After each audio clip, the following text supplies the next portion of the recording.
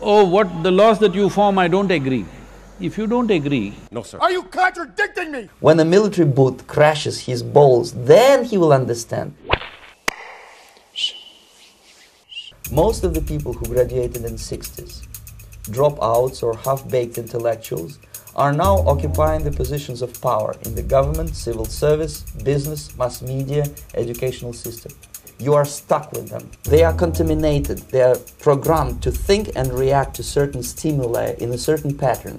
You cannot change their mind, even if you, if you expose them to authentic information. A person who was demoralized is unable to assess true information. The facts tell nothing to him. Uh, even if I shower him with information, with, with authentic proof, with documents, with pictures, he will refuse to believe it until he, he is going to receive a kick in, the, in his fat bottom. When a military boot crashes his balls, then he will understand. see, culture is a happening thing. Nothing wrong with that. If it's evolving naturally, people making choices to eat differently, to dress differently, to do things differently, it's perfectly okay.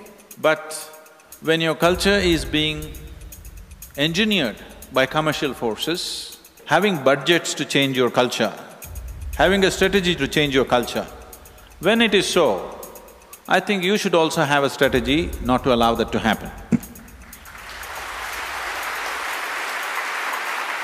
the useful idiots, the, the leftists who are idealistically believing in the beauty of Soviet socialist or communist or whatever system. Namaskar, The Wire mein aapka swagat hai. Arfa Khanam Sherwani. Namaskar, dosto. Hello, ladies and gentlemen. This has nothing to do with Shut Up, Ya Kunal. Namaskar. Mera naam Saurabh Dwivedi hai To all the four channels of Peace Television Network when they get disillusioned, they become the worst enemies. That's why my KGB instructors specifically made the point never bother with leftists. Forget about these political prostitutes.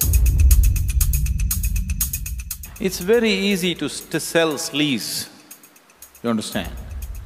And very easily you can catch the youth and make that the culture of the land in no time. One of the reasons, of course, you see, I was in love with India, I mentioned that before.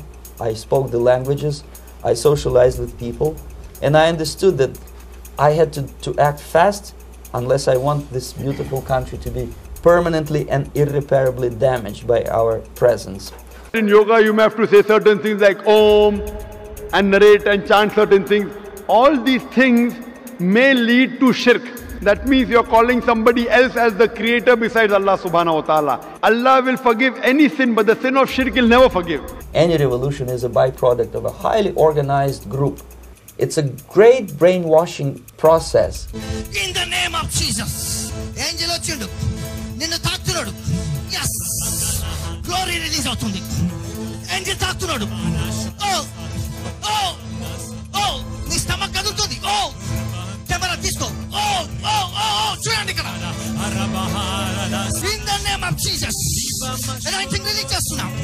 साथ में bitching करते हैं That's the thing, right? Government has no fucking answers, nothing new. Siachen में हमारे जवान लड़ रहे हैं Whenever you evaluate patriotism with logic, there's an old Indian uncle who just appears. Like, Siachen में हमारे जवान लड़ रहे हैं." Well, this whole left or people who think they are left, they're not left. Left means your life is not about yourself, your life is about the community. That's what communism is. Your lifestyle doesn't show that you are left. Your attitude towards others does not show you are left. And you said, I'm a left liberal. You're definitely not liberal because only you have the freedom of speech and nobody else has. This is not liberal in my understanding. Is it fair? Those who lost the game will carry the trophy on their head. This is not fair. But right now, that's what you're asking. People have elected a certain government. If they pass the laws, you say, no, no, no, we should pass the laws. You cannot say that. You can express your opinion, what is wrong with the law. You can vote against it in the parliament or assembly or wherever else, whatever other democratic body you are in. You cannot point out one thing, you just say, no, I don't like it. Well, this is like a domestic situation. These things happen between husband and wife, should not happen between you and me. You say, I will take it to the streets, my right to protest. You have right to protest, for sure, but you have no right to disrupt even one citizen's life.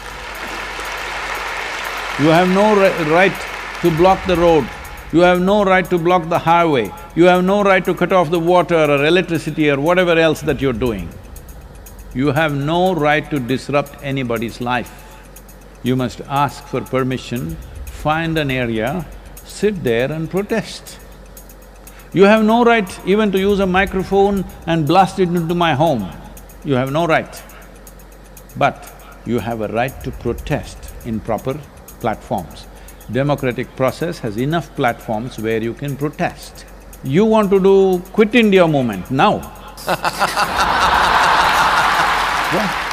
You want to do non-cooperation movement now. You should have done it in 1936. Time for that is over. This is your country, this is your government. Now you say, no, it's not my government. That is not democratic, I want you to understand. Majority of the people, when they elect a government, even if you don't like them, personally you may not like them, I'm not saying you must like them, but it's your government, it's government of India, government of Tamil Nadu, government of Karnataka, or whatever the state it is. It is not somebody's government. As everybody is referring to these days, it's become fashionable for everybody to say Modi government. It is not… in my mind, in my heart, it's not Narendra Modi's government. For me, this is India's government. Because it's government of India, I will support the government of India. Are you contradicting me? No, Sergeant! Let me see your Indian war cry, son! It's a great brainwashing process which goes very slow and it's divided in, in four basic stages. Uh, the first one being demoralization. It takes from 15 to 20 years to demoralize a nation. Why that many years? Because this is the minimum number of years which requires to uh, educate one generation of students in the country of, of, of your enemy, exposed to the ideology of the enemy. There are 9.6 million children studying in the government schools of Tamil Nadu. A few years ago, they passed a law that till they come to ninth standard, you can't fail them. There is no examination. Ninth standard, they can't add two plus two. They're not going to the farm with his father and learning farming or learning carpentry or whatever the trade of the family, but they know how to wear trousers, they're wearing Levi's. They have the attitude of the educated, but absolutely no education. You are breeding a very dangerous group of people. This is the hotbed for crime, for militancy, for terror. If people will fail to grasp the impending danger of that development, nothing ever can help you. I don't care how you dress, what you do, but there are many aspects of culture which are essentially a yogic science implanted into people's lives, so that without even knowing you're practicing yoga, you're practicing yoga. This was done thousands of years ago. Like a mother teaches a child to brush his teeth, like that yoga should happen in their homes. To meditate, in other words, to isolate oneself from the current social and political issues of your own country, to get into your own bubble, to forget about troubles of the world. This gentleman, it may look innocent, Maharishi Mahesh Yogi, a great spiritual leader or maybe a great charlatan and crook, depending on which, from which side you are looking at him.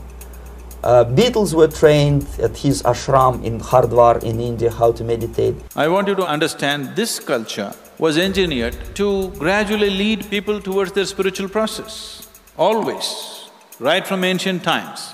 Every aspect of your life, how to sit, how to stand, everything was engineered to slowly lead you towards a spiritual process. If you start right now, here, this minute, you start educating new generation, it will still take you 15 to 20 years to turn the tide of, uh, of ideological perception of reality uh, back to normal, no, normalcy and, and uh, patriotism.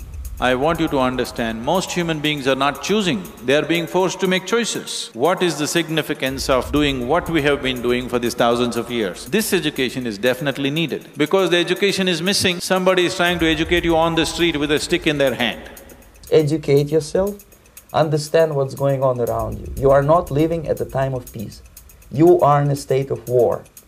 And you have precious little time to save yourself. Make kiss goodbye to your freedom, including freedoms to, to homosexuals, to uh, prison inmate. All this freedom will vanish, evaporate in, in five seconds, including your precious lives. It's wake up.